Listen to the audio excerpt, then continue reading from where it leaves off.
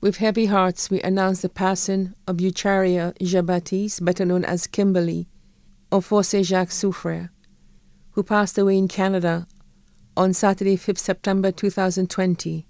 She was 42 years old.